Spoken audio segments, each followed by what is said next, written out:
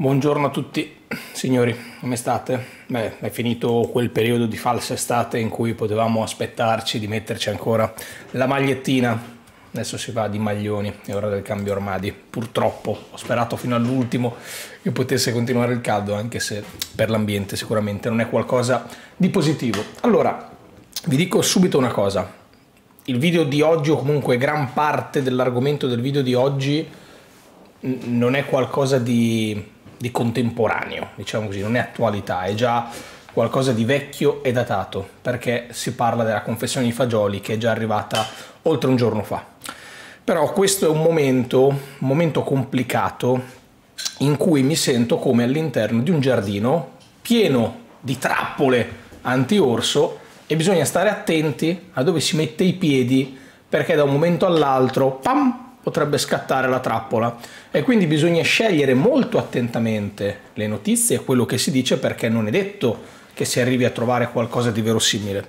Ci tengo a sottolineare che tutto quello di cui parlerò oggi e i pezzettini di frase e la ricostruzione deriva da tutto sport. Ok? Io ho preso tutto da tutto sport. C'è però da sottolineare come all'interno di un post Instagram di cronache di spogliatoio, sempre queste frasi riprese da tutto sport siano state commentate con un emoticon del vomito da parte di Fagioli, che se inserite insieme alle storie di cui abbiamo parlato nel video di ieri, in cui Fagioli accusava la categoria dei giornalisti di dire delle bugie e che presto dirà la sua verità, per quello che vi dico mi sento all'interno di questo giardino con le trappole per gli orsi. Quindi prendiamole con le pinze, non abbiamo avuto ulteriori smentite nella giornata di ieri, quindi questo dovrebbe essere un pezzettino di quella che è stata la confessione di Niccolò Fagioli alla Procura di, di Torino, a Chinè. Perché è importante questa cosa? Perché ci dà alcune risposte a delle domande che ci siamo fatti nei giorni scorsi e ci spiega anche un pochettino, secondo me, quello che sta succedendo. Intanto partiamo da un riferimento temporale, perché Fagioli dice è iniziato tutto nell'estate del 2021, in un ritiro della nazionale Under 21. Attenzione perché la prossima frase è emblematica ed è molto importante. Lo facevano gli altri e lo facevo anche io. Poi parla del rapporto con Tonali, del fatto che sia stato lui a consigliargli alcuni siti, l'applicazione, bla bla bla.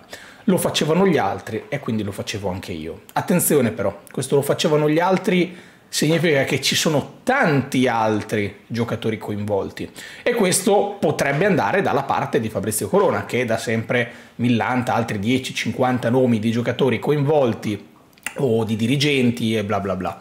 Poi ci arriviamo perché? Perché Fagioli dice una cosa importante, altrettanto importante, e cioè iniziare, per iniziare ho puntato sul tennis per partire e poi mi sono ritrovato in una condizione in cui avevo così tanti debiti che per recuperare ho iniziato a scommettere pure sul calcio. Piattaforme legali o illegali a me non interessava dove giocare, ma sulla seconda, quindi quella illegale, puoi giocare senza anticipare somme.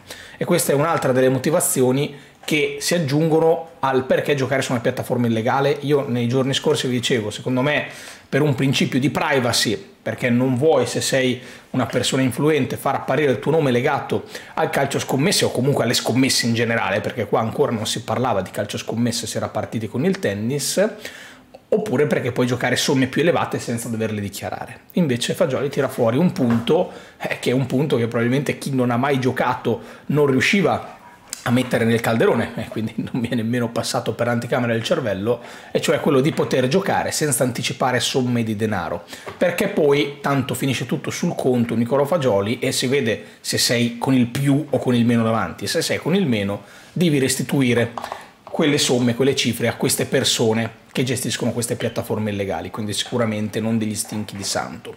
Non ho mai scommesso su Juve o Cremonese, ma questo ormai era diventato eh, quasi certo, perché comunque la squalifica di Fagioli soltanto di, è soltanto di sette mesi e quindi potrà tornare in campo a giugno 2024. In caso di scommesse eh, nella sua squadra, sulla sua squadra, dove giocavo, su di lui, sulla sua prestazione, che lui ha detto non ho mai fatto perché è contrario alla mia etica, c'erano anche la possibilità di scommettere sui cartellini o robe del genere, non l'ho mai fatto proprio perché è contrario alla mia etica e quindi già qua è un grosso sospiro di sollievo.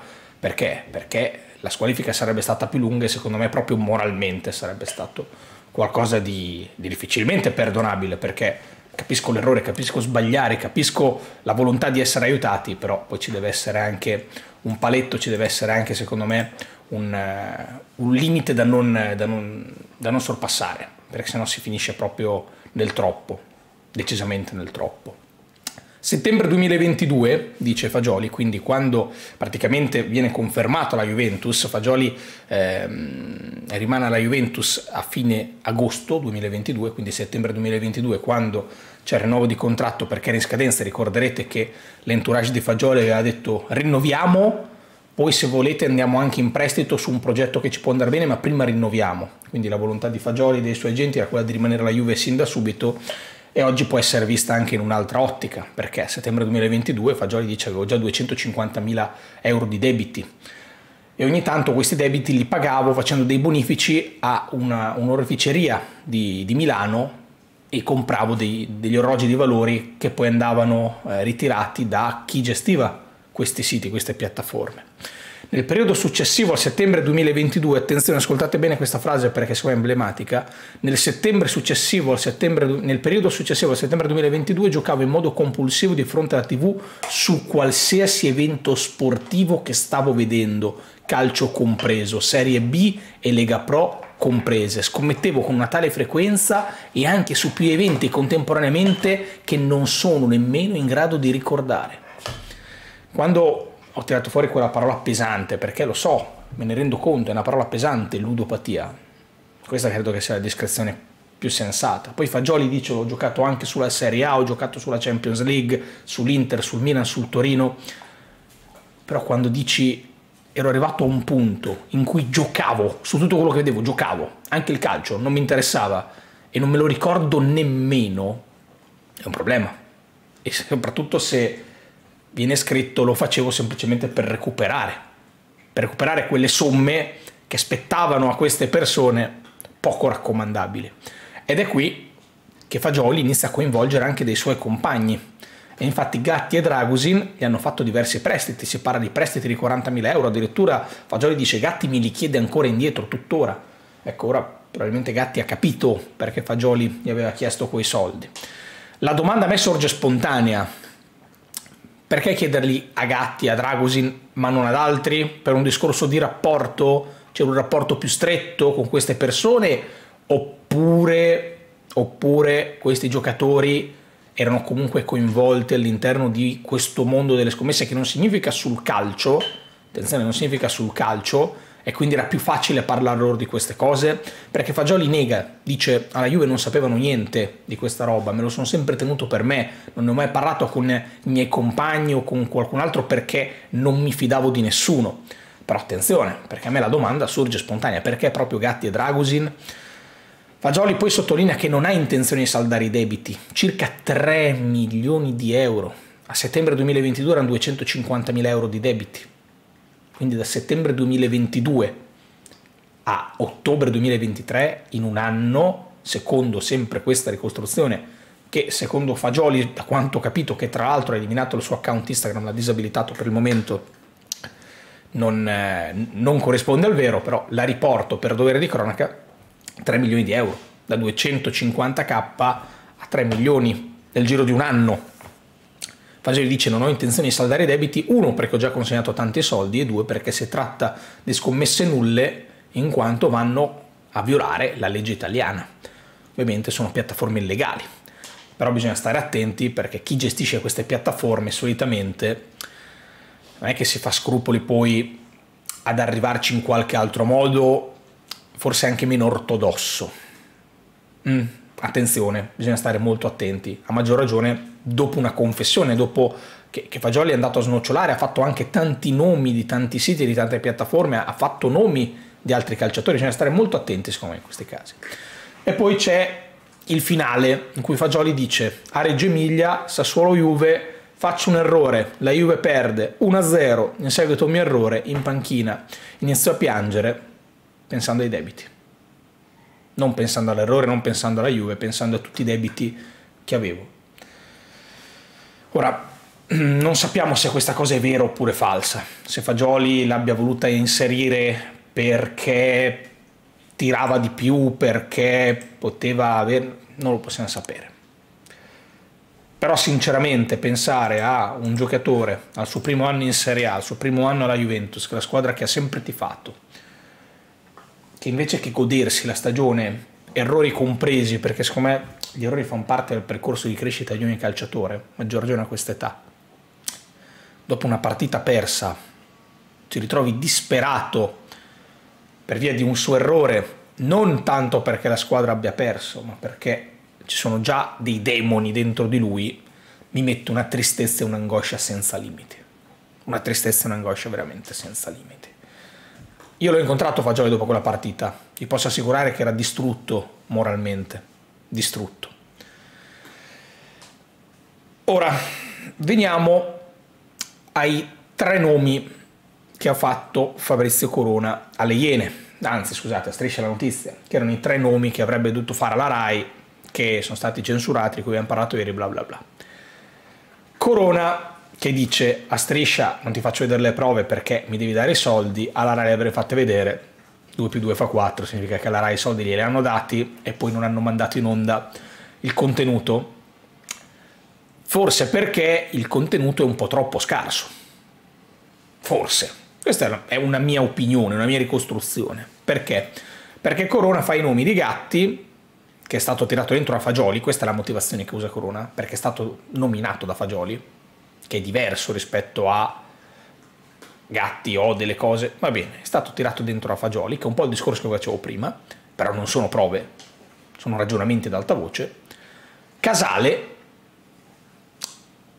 che nel ritiro under 21 avrebbe fatto un casino, bla bla bla, e comunque potrebbe essere uno di quei giocatori, dato che nell'under 21, Fagioli ha detto, giocavano tutti, e poi c'è il nome di El Sharawi che è stato buttato lì da Corona in televisione e non è stato approfondito.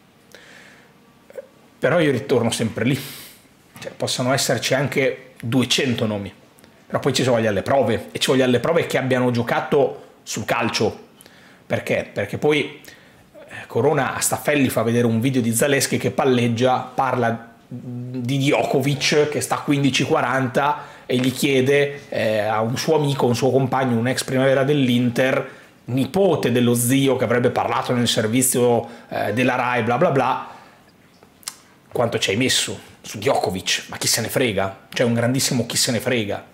Cioè, per me Zaleschi eh, può giocarsi anche 12 milioni di euro su, su sulla roulette che esce lo zero, è la roulette sì che esce lo zero, ma chi se ne frega, cioè non sta alterando un risultato sportivo, eh, non sta scommettendo sul calcio, non sta violando nessun tipo di regolamento. Poi probabilmente ci sono dei problemi di gioco d'azzardo e su questo va aiutato, e soprattutto perché si parla di tanti ragazzi giovani, tanto si parlava di quell'under 21, sono tanti ragazzi giovani, tutti quelli nominati, a parte Gatti che ha qualche anno in più, sono tutti ragazzi giovani. E comunque Gatti non è vecchio. Quindi secondo me c'è da fare questo tipo di ragionamento, ok, scommettevano sul tennis come faceva Fagioli all'inizio, magari c'è pure Gatti, scommetteva sul tennis, ha scommesso sulla Juve, perché io ve lo dico tranquillamente, da, da quando è uscito tutto questo discorso, quell'autogol di Gatti sempre a Reggio Emilia, un po' lo rivedo e mi interrogo e mi chiedo, ma scusa, ma e, e, e quella roba lì cos'è stata? Se la guardi in malafede, pensi che Gatti abbia giocato il suo autogol, se la guardi eh, come andrebbe guardato lo sport, pensi che è stato semplicemente un errore tecnico imperdonabile. Perché io Gatti poi non l'ho nemmeno visto uscire, non si è fermato dopo, dopo la partita.